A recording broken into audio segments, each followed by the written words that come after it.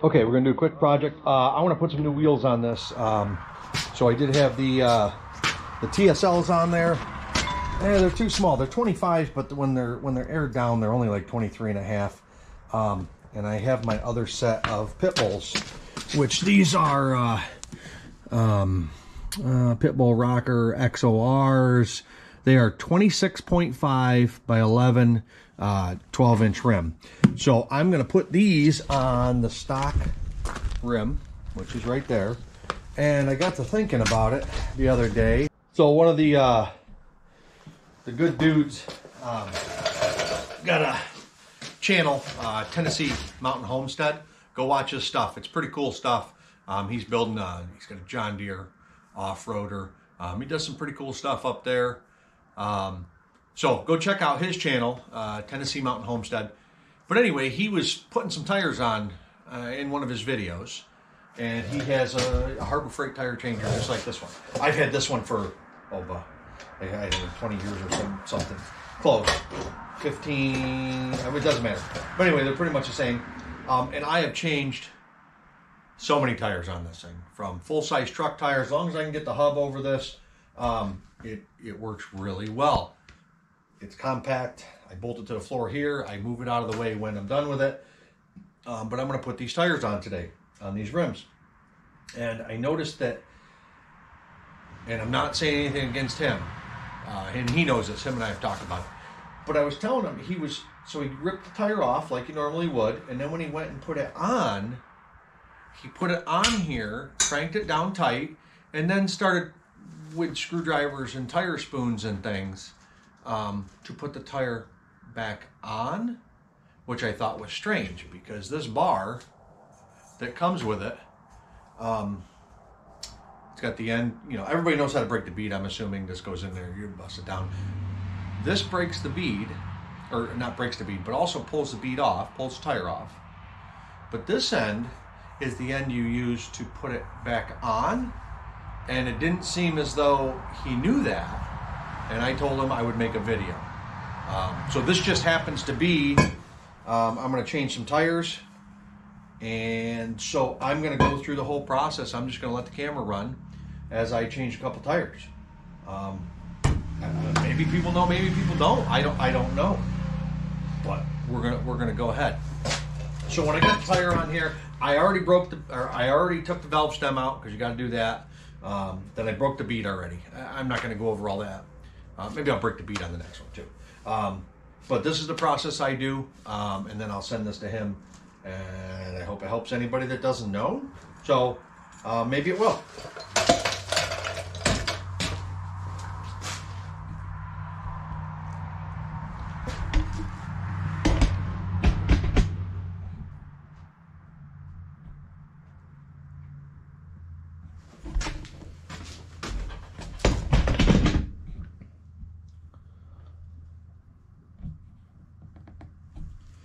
Okay, so what I like to do, you get these old tires, they're kind of hard. Just spray a little lube in there, just something to help it out. Anyway, you take this end, right, which got the flat part, push the tire down on one side. I told you, all right, so you got your lip started, right? You go on one side of this, that tire off, okay? Now when you're doing the lower, same thing. You don't have to flip it over. You pick the tire up. Now I'm in the lower bead.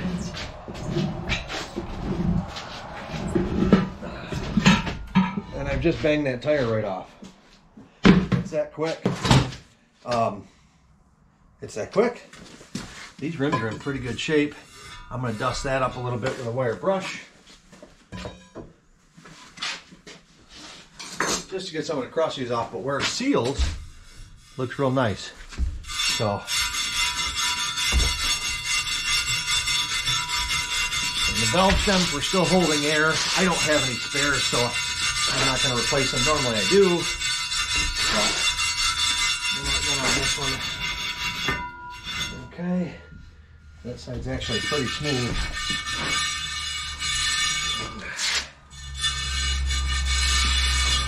Okay, So it's that quick. Self rag. Well, I mean, I actually have the air gun here.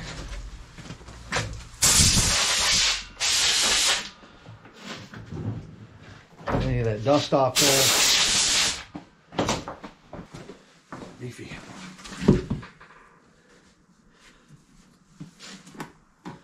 Uh, usually, I don't know if anybody knows. Get this tire up here. Um, usually, where there's a yellow dot, you're supposed to put it at the valve stem. I mean, on these, I'm not running down the road. I'm not running crazy high speed. Um, we're not really worrying too much about balancing. But I got the valve stem down. Uh, it's right there. So, well, I mean, we'll try to we'll try to line it up a little bit. So, I got the tire up there. A lot of times I use grease. I haven't been because, um, and I'm not gonna on this one because I'm worried that uh, this will spin on the rim. I've never had one spin on the rim, but um, yeah. Anyway, these tires are non-directional, so sometimes you can get the first the first put on, right? That's the right direction. Center of the tire. This is the part um, that I wasn't sure if people knew. So you got the other end that's got the funky looking end on it. Okay. This is going to ride on the rim. I mean, you can't use these on a lot of nice rims. I think they make a different part for the newer ones. And then the tire's going to ride here and we're going to drive it on. Okay. So what you want to do, push the tire to one side. You get your, see if we can get you in here. Okay. So, I got this part hooked on the rim and on the, on this side. It's got to be this side. It's a right hand drive, like it's just the way it is. Okay. Now, what you want to do, you want to get that tire started too. Okay. And then I spin it around a little bit. You got to be about half tire, half rim, and you got to hold it over here. Okay? And then as you run this around, don't get your finger in there. When you run it around, it just goes on. Like that. Now, you can see these rims are a little bit wide. Like, I'm going to have a hell of a time getting a bead on this, and I don't have a bead blaster. So, you know, sometimes you can get part of that bead locked, but what I'm going to end up having to do is I'm going to put a strap around this. I'm assuming everybody knows that. I don't know. Um, maybe don't. Uh, you want to, we can go over that. But anyway, that's, that's how I do it. So I'm going to take this one off. We'll bust down the other tire and we'll get the other tire jammed on. Um, I won't talk about it. Let's just see how long it takes me to, uh, I already let the air out of it, but I haven't broke the bead yet. So let's see how long it takes me to break the bead, throw it on here, lock it on here, and break one down and get another tire put back on. And we'll just see how long it takes.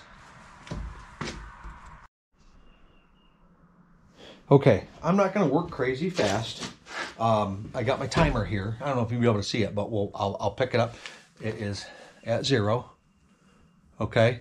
Um, and I'm just going to time it. I'm not going to work. I'm not going to work crazy fast. I'm just going to work on changing the tire. That's how I'm going to do it. And we'll just see how long it takes. Okay. I've already let the air out of this tire. That's it. It's still on the bead. So I'm going to bead break it. And we will, uh, we'll go from there. Okay. So timer, start. That's running.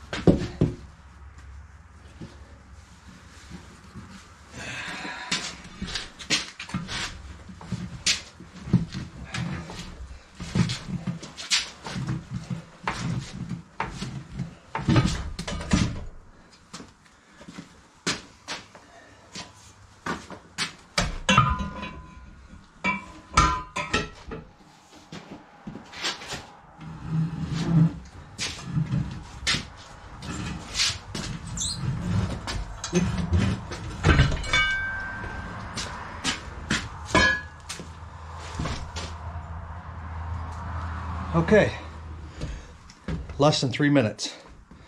Less than three minutes it took me to break down a tire and get a new tire put on. So, I mean, you want to go spend thousands and thousands on a tire machine. Um, so I don't know if I hit a bead blaster, we'd uh, we'd blast these back on. But anyway, two minutes fifty five seconds. So that's not bad.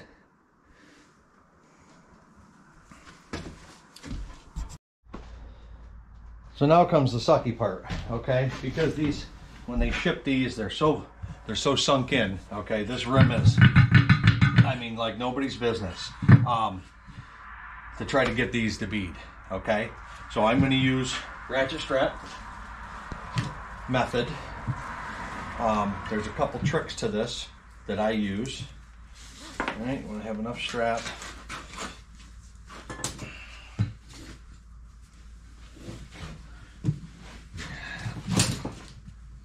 Okay, in the center of the tire, best you can. I mean, we're going to get this hooked up, and then we'll talk about what we got to do after that. We got the hooks. Okay, I'm going to pull it tight. I'm just going to put a couple cranks on it so that I can make sure I get this center of the tire. Okay, now when you crank one of these, it's all going to be great. Like, man, this is going to work out great. This tire's beef. Now, you see it's just squishing in here, not around here. Okay, so it's almost touching here. But the problem is, the problem, the solution to that is you need yourself a dead blow. Well, I'm gonna be hard pressed to get these on here. Anyway, you gotta, what that does is it evens that strap tension around that tire. Okay? It evens it. Then give her some more. Okay? And you got to do this. You got to even that.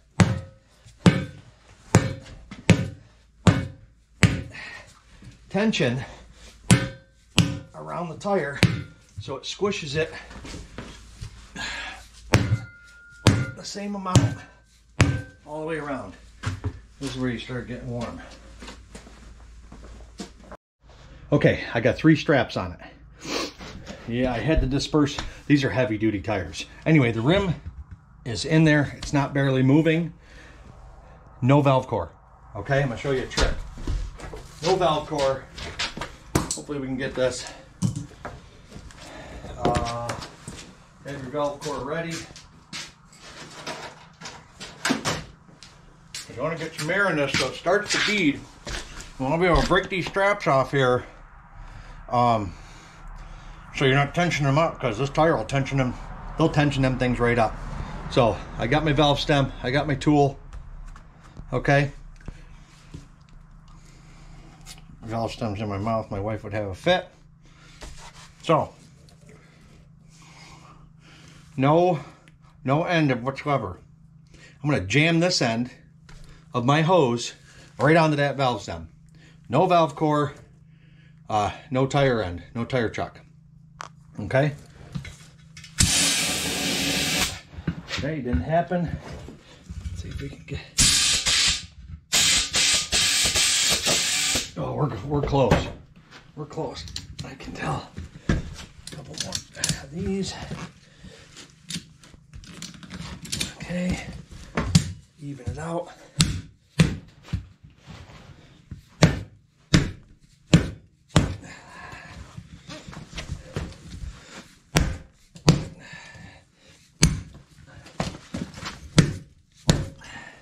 I don't like using the fire method. I don't. It's just not my style. Okay, let's see if we can. No, not yet. It's closed.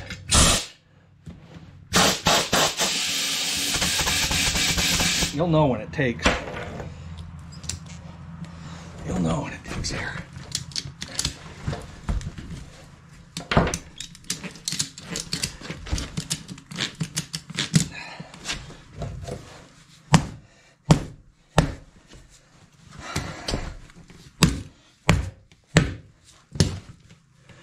pop because I got too much strap wound up. But we're close. We're close. Boy, that's close. If I have to, I'll spray it. That's taking air right now. Okay. That's taking air.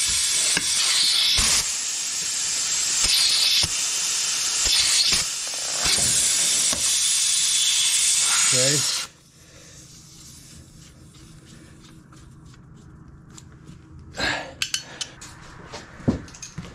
You want a chuck that locks on. Okay. All right, we're still taking air. Careful when you pop these, you're gonna have some tension on some of them. Okay, and you just gotta get them loose, right? Like that. Give it some air so you don't lose it.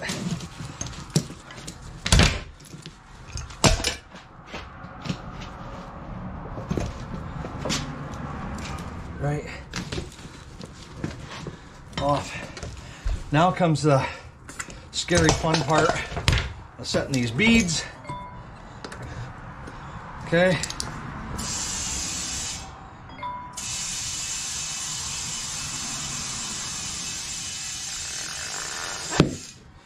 That one's set. Backside.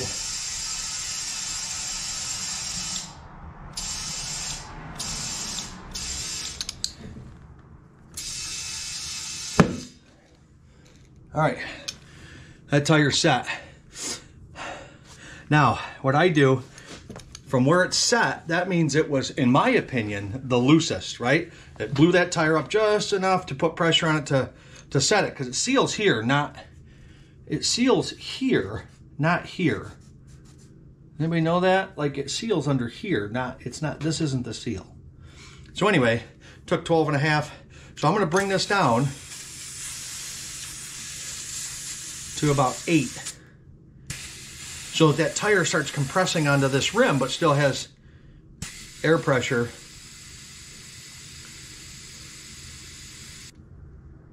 All right, we're about at nine, that's fine.